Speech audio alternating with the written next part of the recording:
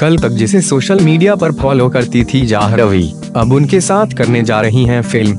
लंबे समय से यह चर्चाएँ हो रही थी कि जल्द ही राजकुमार राव एक और हॉरर कॉमेडी का हिस्सा बनने जा रहे हैं।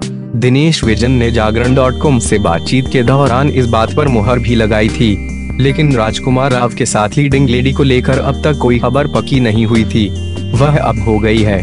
राजकुमार राव के साथ जाहरवी कपूर अभिनय करने जा रही हैं। फ़िल्म रूह अफजा में। जी हाँ यह राजकुमार राव के साथ जाह्नवी कपूर की पहली फ़िल्म है, जिसमें वे एक अलग ही किरदार में नज़र आएँगी।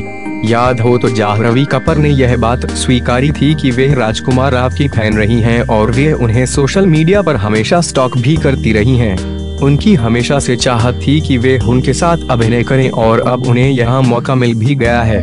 यही नहीं, इस फ़िल्म में फुकरे फेम वरुण शर्मा भी अभिनय करने जा रहे हैं।